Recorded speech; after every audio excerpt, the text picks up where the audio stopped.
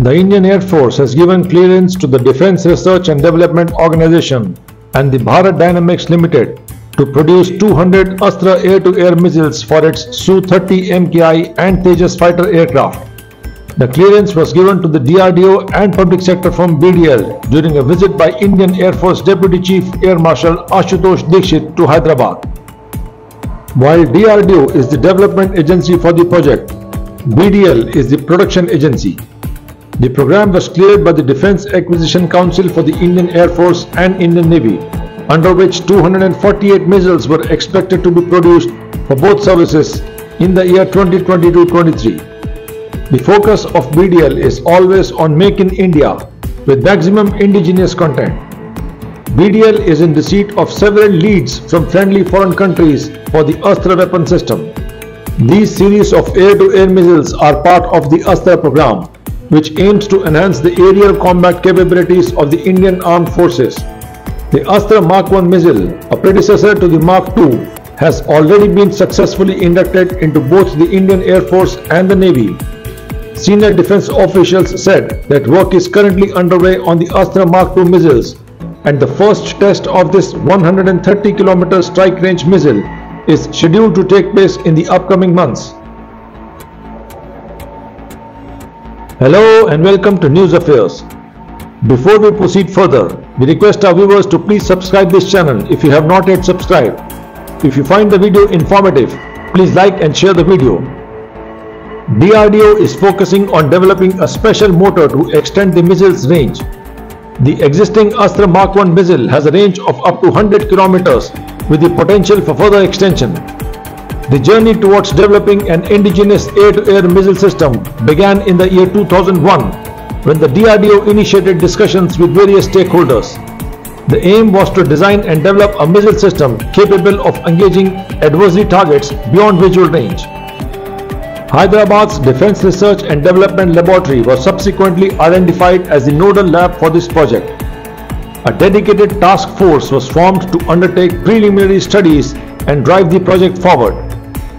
Astra weapon system is best in its class of weapon systems in the world in the category of air-to-air -air missiles.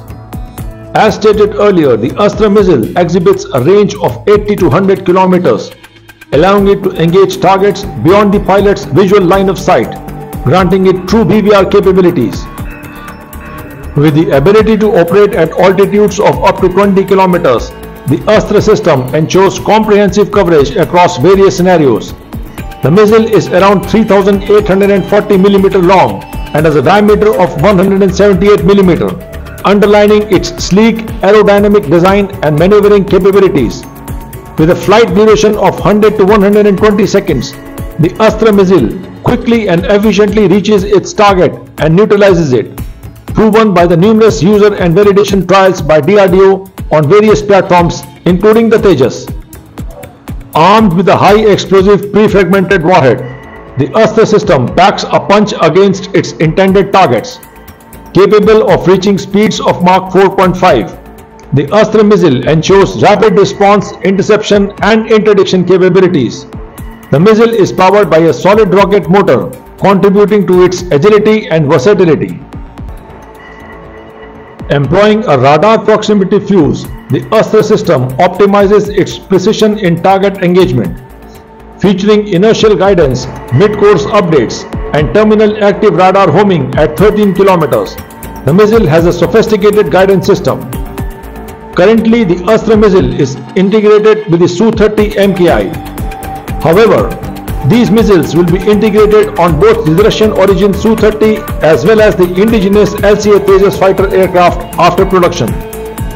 DRDO is also developing the vertical launch short-range surface-to-air missile, which is the air defense version of the system, and it comes with fiber optic gyroscope-based inertial guidance during mid-course and active radar homing in the terminal phase. Featuring both lock-on before launch and lock-on after launch capability, it receives mid-course updates through data link. Designed to replace the Barak 1 system on Indian Navy warships, it also is slated to serve as a short-range air defense system for the Indian Air Force. We would leave you with this topic at this point. Thanks for watching. Jai Hind!